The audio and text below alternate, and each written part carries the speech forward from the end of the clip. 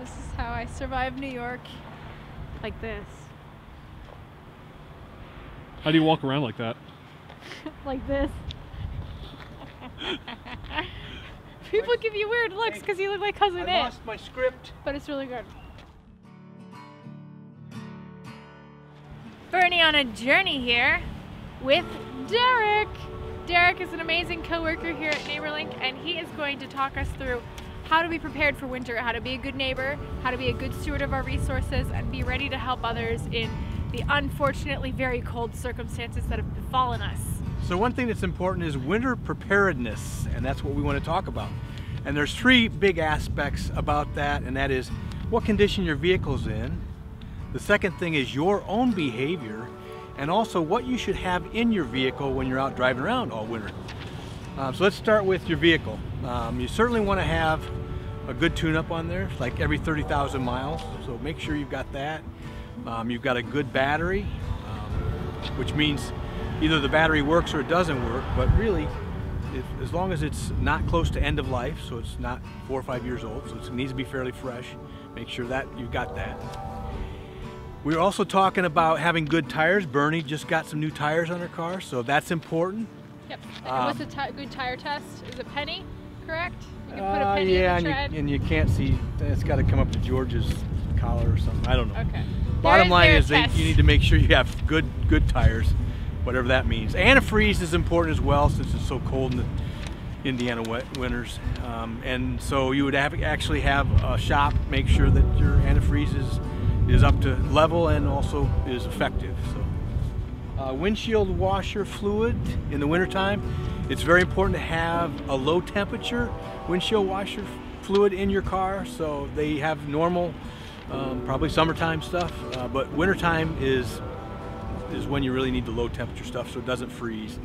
And you need good windshield wipers. Let's take a look and see how easy it is to take a windshield wiper off and replace them.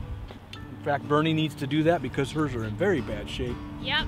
So what you do is you find out where there's a little tab here, and I'm trying to figure out which way it goes, and you just flip the tab, and you take your your uh, windshield um, wiper off just like that. I feel like I need a Staples So, button. That was easy. You need to go buy yourself a new one, and when you get your new one, figure out how it goes on, and stick it on there, something that Derrick and shared. voila! It, a lot of windshield wipers are different sizes, so you need to measure. My windshield wipers, this one is 19 inches and the other one is 25 inches. So make sure you're not buying windshield wipers that are the wrong size, because that can be very bad. Yeah. So uh, the final thing about your vehicle, if you've got a four-wheel drive, uh, make sure you know how to use it and make sure it's functioning because it can be a big uh, benefit for you. So let's talk about your behavior, the next topic.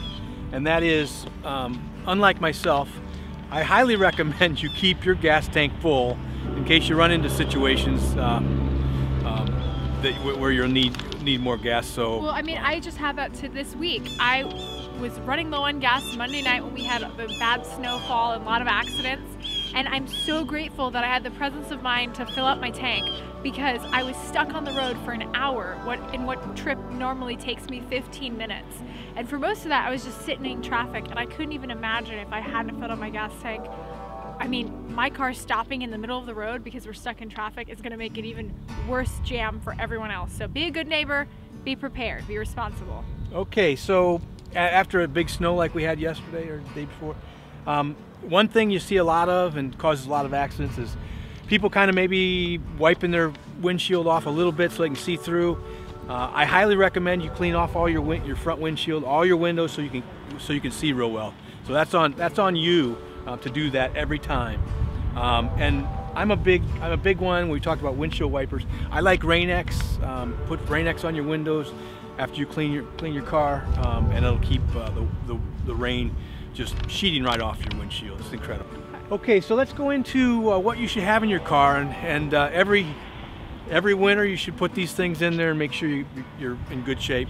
Uh, one thing is an emergency kit with flares um, and oh, a flashlight, any particular tools. Um, that's very important.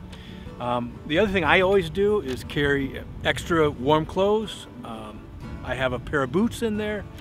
Um, obviously a hat, um, gloves, that sort of thing, so that if you do get stranded anytime, you'll be just fine.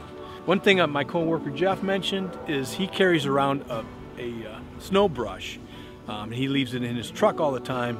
It's a brush. It's a it's a broom that he bought specifically for um, getting snow off the car. So you don't use it for anything other than that. It's something nice and soft, and you can get a, a bunch of uh, high quantity of snow off really easily. That's So a smart idea. it is. It's that. really good. Um, also, you should have snacks and water if you're taking trips. Uh, Especially around the holidays for yeah. a road trip. Like we're, I'm going to Pittsburgh. I'm making sure I have some things yeah, just in in case. case there's a slide off or something like that. Um, flashlight, anything you can think of that would keep you safe.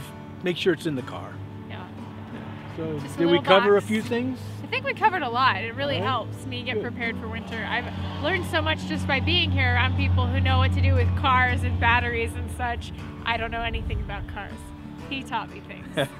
yeah, also check your brakes. That's another big thing this winter. Derrick and I actually replaced my brakes this past fall, and I noticed a huge difference. I noticed an even bigger difference once I got new tires with the new brakes. Yeah, so so that's that's important to make sure your brakes are good. But also, I talked to a couple people um, just recently about uh, driving on ice, and they said, "Oh yeah, I pump my brakes." You've got anti-lock brakes, and what you really want to do is push your brakes firm, Steady, firmly. yeah. You don't want to pump that pedal. You want to push the brake uh, steadily and firmly, and let your anti-lock brakes do all the pumping. They'll they'll make sure that you get stopped much more safe. If you pump the brakes, then you're going to confuse those anti-lock brakes, and it's going to Probably be jam the system. Yeah, Yeah. Gonna, it's going to Don't be do that. Yeah, Yeah. definitely. Well, thank you, Derrick. I feel like we learned a lot. Very good. We're safer for this winter. You guys go out, be safe, be good neighbors. You know, you can always be a good neighbor by brushing off the other person's car around you. That's right. That's a thought process too. That's right. You got extra time and gloves.